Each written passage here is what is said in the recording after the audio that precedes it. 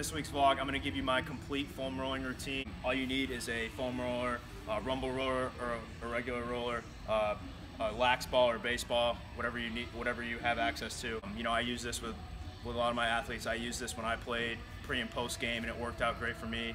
I saw some great results. I recovered better, and uh, you know now I'm going to show you guys this routine. Also, I'm going to show you some new rolls that you might not be doing that you should be doing that are going to, um, you know, really improve your recovery. All right, guys, we're gonna start with the lacrosse ball. You guys can use a baseball too. Um, either or work. We're gonna start right on the glute. This is one of the most important things. Um, so just sit on the ball. This doesn't tick, obviously. Um, so you wanna just sit, um, put as much weight as you can on it just for a second. You know, find a tight spot, breathe, take a couple deep breaths here.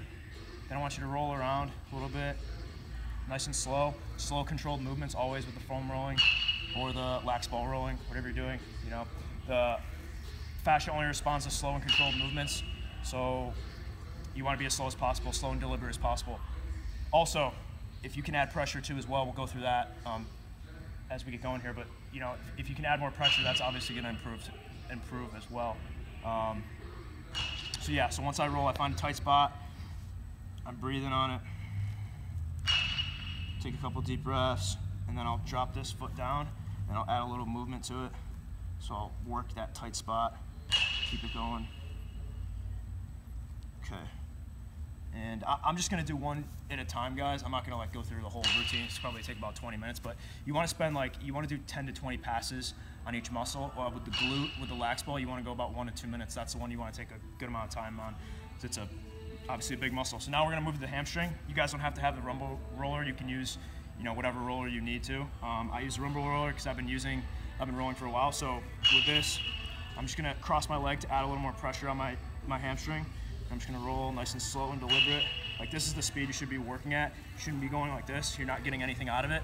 Um, foam rolling sucks. Nobody wants to do it, but you know if you go fast, you're not really getting anything out of it. So you want to go slow and de deliberate like this, right on your hamstring. Cross your foot. And now I'm gonna move on to my IT band. So I'm gonna go right on the side of my thigh here. I'm gonna cross my leg over. I'm gonna get right here like I'm doing like kind of a side plank. I'm gonna roll right up to my hip, all the way down to my knee, just above my knee. I'm just gonna go nice and slow. This again hurts pretty bad, but so all the way up to the hip, all the way down to the knee. Okay. Now I'm gonna move on to my um, inner thigh, my adductor. So with this, um, so with this I hit like three different spots. Um, I don't know if you can see in the video, but I'm gonna hit my inside, like my groin. I'm just gonna stay there for this. So I'm just gonna stay right in there. This, you have to move this around a little bit, but play with it. You wanna get right in that groin. That hip attaches. So I'm gonna go like 10 reps there, and then I'm gonna work out. So I'm gonna get like right in the middle here. I'm just gonna stay there for a little bit couple rolls, 10, 10 rolls. I, I, recommend 10 rolls on each, but, and then I'm gonna come out here to my VMO, and I'm just gonna, you know, roll here. I like doing adding movement to this too, like right on the VMO, because this is really tight on me, tight on a lot of you guys, but just wanna add movement, this hurts like hell, but really good. And you can even do the movement in here too. So like in the middle, I like to do movement too, as well. So that's the inner, it's the adductor. That'll open up your hips really good. And then we're gonna move to the calf here. So with the calf and Achilles, what I like to do is I like to hit the Achilles first, like so down here. And I like to cross to add more pressure. If you're just starting out, maybe you want to start with just one leg, but for this, I'll show you two. So I'm crossing and I'm just sitting. If you can see, I'm sitting on that Achilles right there for like 10 nice and slow passes. I'm turning it, okay? And then I'm gonna hit my, after I do that for 10 times, I'm gonna hit my calf. So with the calf, um, I like to hit it in three spots again. So I hit it in the middle, hit it on the side, and I hit it in the inner. So like I'll do, I'll start outside. So if you can see like, I'll just do, I won't cross my foot. You should be crossing your foot, but I won't cross for this. So I'm gonna hit my outside of my calf, like this, and I'm gonna move over for like two passes in the middle. I'm gonna turn it in, hit the inside part of the calf, right there. Then I'll go back to middle for two, outside for two. I'll do that about three times, okay? And then um, then I'll hit the quad. So with the quad, um, I think you guys can go one leg at a time. A lot of people just do two legs, and that's like, I guess that's that's really easy. You're really not not feeling much from that. So what I like to do is, this worked for me. I don't know if this is like proper foam rolling etiquette, but how I do this is to hit my to get my hip flexor load, my psoas. I like to go. I like to hold onto the ground, and I'm right on my hip right now, and then I just roll up, and then I take this foot off if I'm really good. I take this foot off to add more pressure. So if you guys are advanced, you can take that foot off the ground. I sit on that hip, come right up to the top. If not, just add the, for less pressure, just put the foot on the ground like that. So if you're just starting off, start there. All right. So now, cover most of the lower body. I'm thinking I hit everything there.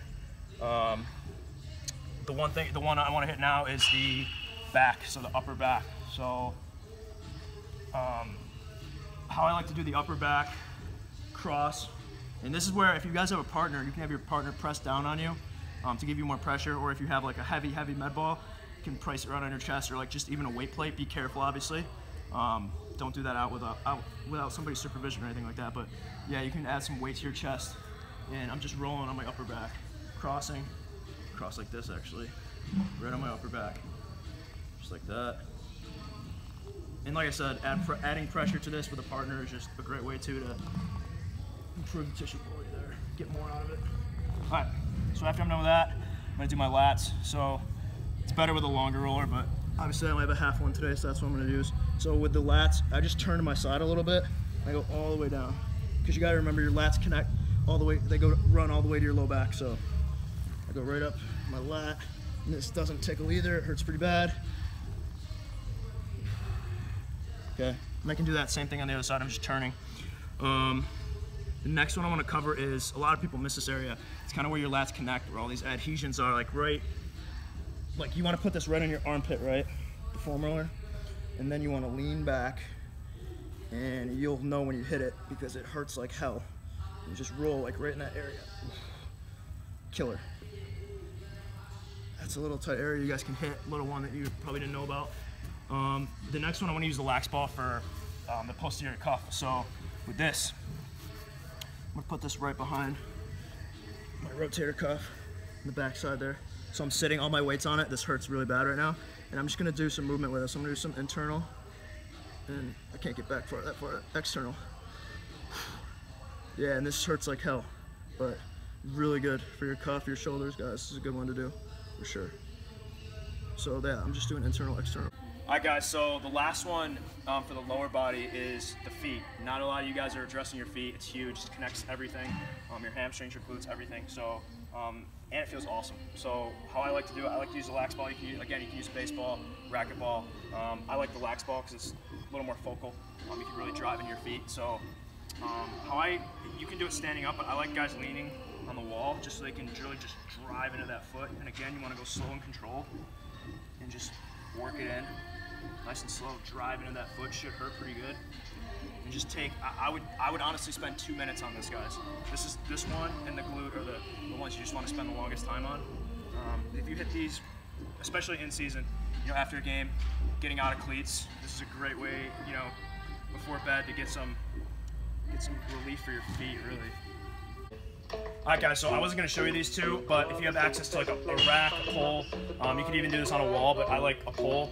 Um, we're going to go through a little a pec one I like. You can use them, actually you can, you can do your pec on the floor with a foam roller, but um, I just think this hits it a lot better. So we're going to go pec on the rack, and then I'm going to show you a trap exercise too. So check this out. So I'm going to put this right on my belly of my pec, right? I'm just going to drive into the, into the rack. I'm going to put all my weight on there. I'm just gonna drive in there. Just breathe for a little bit. Relax. And I'm gonna add some movement to it. So I'm gonna do some presses. Like 10 reps here. This really just opens up your pecs real good, your shoulders. I don't recommend ever rolling on the front of your uh, shoulder. Um, so I, I, think if you hit your pecs and your traps, your lats, around the, the, areas around, you don't really need to hit the front of your shoulder. I've seen a lot of problems that way, but anyway. So that one you want to do, then you want to do some, you can do some overhead reach, this movement. You see the balls moving on my pec. So I'm doing this. And then you can do some here, some movement this way. So it just flies open. And remember to keep all your weight on there. Ball's not barely moving. And then there's another one you can do, internal external rotation. If you do like, I mean, you can do five to 10 reps of each of these, and that's, that'll be really good for each pec. That'll open you up real good. Um, now I'm going to show you the trap one I use. I like this one a lot. Um, so what I'm going to do is I'm going to put this right here on my, my trap, right? And I'm going to drive into the rack, right? Put all my weight there. Again, this hurts like hell, but it feels awesome when you're done. So just stay there and then get some, you know, take some deep breaths, relax, and then you can get some movement with your neck. So this way, this way, down. Just move around with it, play with it, open up all the tissue. I mean, you'll feel it, guys. It'll it'll hurt pretty good. Just move in different directions. Chill there for like 20 reps or so, and that'll be good. So that's that's my rolling series, guys. Hopefully um, you liked it. You can use it, implement your post-game routine, your pre-game routine, um, before workouts. Um, those are all my favorite rolls. All my athletes do them. They're having a lot of success with them. So try out today.